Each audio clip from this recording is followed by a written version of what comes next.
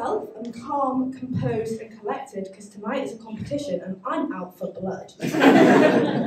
so, yes, I've been training well, I've been eating right. Uh, this morning I did have some scrambled egg on some gluten free toast.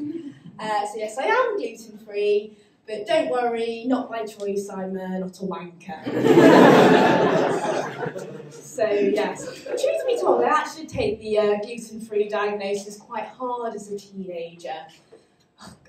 Those were the days when your parents had gone to sleep, sneaking downstairs, going to the kitchen, rummaging through the bread bin.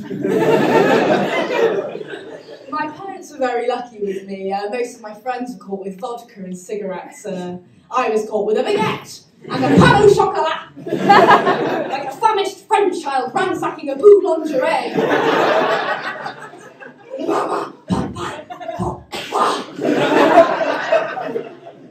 so yes, absolutely humiliating. Um, there are three types of people we don't necessarily like in the gluten-free community.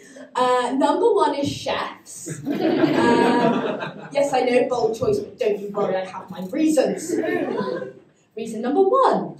If you say you are gluten free at a restaurant, they will refuse to feed you anything that has been within uh, 10 miles of Theresa May and her wheat frolicking, uh, unless she's kicked up enough brains to cross contaminate the entire menu. And if they give you so much as an unwashed carrot, you'll just drop dead.